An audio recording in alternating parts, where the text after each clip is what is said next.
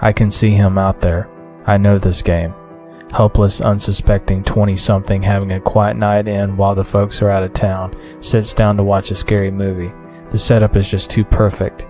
The only chance I've got is getting the first strike in. I'm not fucking going down like some two dimensional aging star trying to pretend they're a teenager. Tools. What have I got? Enough, I hope. A quick check to make sure he's still there. Yeah, he's gone nowhere. I can see the mask in flowing black. Scream. The film about avoiding film cliches, and here I find one stood right in front of me. The only thing between us is the door. I'm sure he can hear my labored breathing, my not as light as I'd like footsteps. He rings the doorbell. Bastard, trying to catch me unaware. I don't fucking think so. I can just about make his knife out, clutched in close to his robe. It looks dull, tarnished. I'd call it lifeless, but it feels too much like an omen. I edge my way to the kitchen. The closest thing we've got to a weapon is the assortment of cooking knives. Fine, if it's a knife fight, then I'm going to make the first lunge. I compose myself for a minute, breathing some of the ash from my lungs before stepping back into the living room so I can make my way to the door. He's at the window. Game over. It's now or never.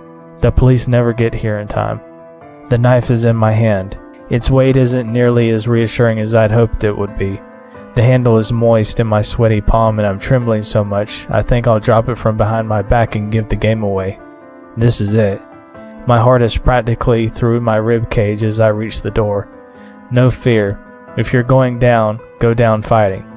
I wonder if this is how every man on point felt when breaching a room, how the brave souls of D-Day felt as they climbed into their boats. Death. Palpable, real, with a face. I twist the lock. The door swings freely with a push. I taste the air. TR. He stops the knife. I'd never felt anything like it the snag as it first hit, the grade as it connected with bone, the touch of the robe as my hand finished driving home my defense, my salvation. It was over. It took a few seconds for any reaction. I didn't know if it was enough. I stared into those black holes which should hold eyes and saw nothing. Everything in me wanted to burst. He sways, a groan comes from behind the mask. I smell blood as he falls. I stand, trying to will the life back into my limbs. This is the part where they catch you. Dead? Sure, dead, just long enough for you to let your guard down. I drag him to the chopping block round back and make sure he's not coming back. It's all over. I get back inside and wash up. I cry, and cry a lot. It feels like I've just been lifted from hell, Jesus wrapping a hand around my wrist when I most needed it. I've never been the religious type. Maybe it's time that changed. My heart drops right back down into the pit from where I was just lifted. There's a knock at the door, the doorbell ringing.